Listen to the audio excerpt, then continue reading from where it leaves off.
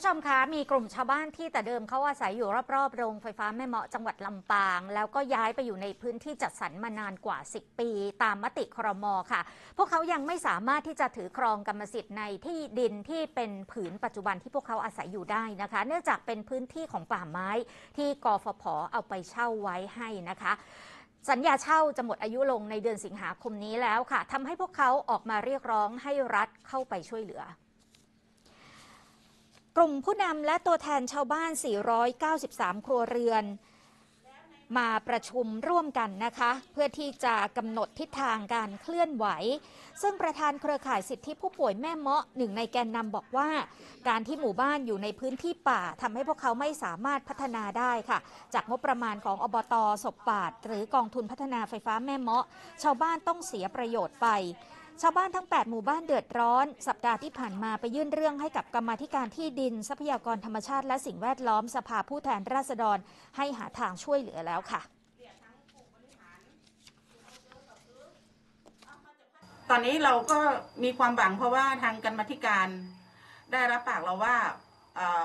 ปลายเดือนมิถุนาเนี่ยจะลงมา พื้นที่จังหวัดลำปางนะคะ แล้วก็เรียกทุกหน่วยงานเข้ามาหาเรือให้แก้ไขปัญหาเรื่องนี้รวมคือทางกรรมาธิการพูดเลยนะคะว่า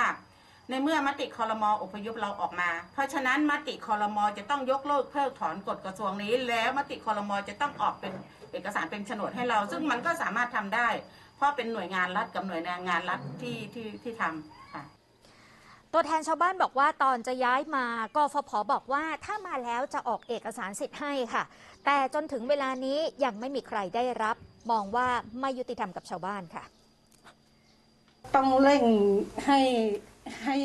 เขาเข้ามาแก้ปัญหาเพิกถอนให้เราก่อนนะคะเพิกถอนพื้นที่ป่าเนี่ยค่ะ อันนี้คือปัญหาเร่งด่วนที่เราอยากจะทำมากณตอนนี้นะคะ เราก็ไม่อยากอยู่พื้นที่ป่าไม้เนาะพูดถึงอย่างพระอาจารย์ว่าค่ะ ถ้าตื่นเช้ามาวันที่ยี่ห้าสิงหาเป็นพื้นที่ป่าไปแล้ว เป็นพื้นที่ป่าสงวนเนี่ยเกิดกรณีอย่างชาวบ้านไปตกตัดไม้ไปอะไรเขาเมื่อก่อนเขาทำอะไรเราไม่ได้ไงคะเพราะอยู่ในสัญญาเนาะทีนี้หมดสัญญาแล้วเขาจะทำอะไรกับเราก็เป็นไปได้อะค่ะก่อนหน้านี้ชาวบ้านกลุ่มนี้เขาอาศัยอยู่รอบๆ โรงไฟฟ้าแม่เมาะค่ะ 10 มกราคม 2549 มีมติคณะรัฐมนตรีให้ย้ายชาวบ้านทั้ง 4 หมู่บ้าน คือที่บ้านห้วยคิง ห้วยเป็ด หัวฝาย และหัวฝายหลายทุ่ง 493 ครัวเรือน ไปอาศัยในพื้นที่นอกรัศมี 5 กิโลเมตร จากโรงไฟฟ้า กฟผได้เช่าพื้นที่จากกรมป่าไม้รองรับชาวบ้านกลุ่มนี้ ซึ่งสัญญาเช่าจะหมดสัญญา 24 สิงหาคมนี้ค่ะ ชาวบ้านจึงออกมาเรียกร้องให้รัฐช่วยแก้ปัญหา และนำไปสู่การการออกเอกสารสิทธิ์ในที่ดินให้ ตอนนี้ยังไม่มีใครได้รับโฉนดที่ดินนะคะ เบื้องต้นกรรมธิการที่ดินทรัพยากรธรรมชาติและสิ่งแวดล้อมของสภาได้รับหนังสือจากชาวบ้าน แล้วก็รับปากว่าจะหารือกับผู้ว่าการกฟผ และหน่วยงานที่เกี่ยวข้องในปลายเดือนมิถุนายนนี้ ซึ่งชาวบ้านเขายืนยันว่าจะปักหลักรอคำตอบหากหมดสัญญาเช่าก็จะออกมาเคลื่อนไหว พร้อมกับจะยื่นร้องปปช และผู้เกี่ยวข้องฐานละเว้นการปฏิบัติหน้าที่ค่ะ